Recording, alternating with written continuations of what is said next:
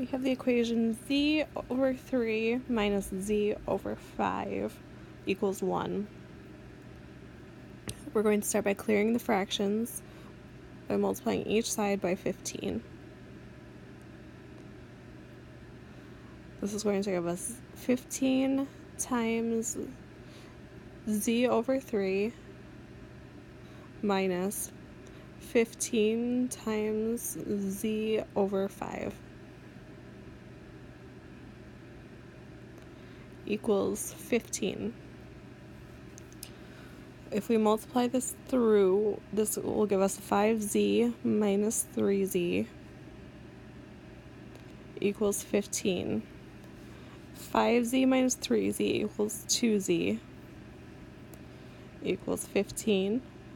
Divide each side by 2, giving us the solution of z equals 15 over 2.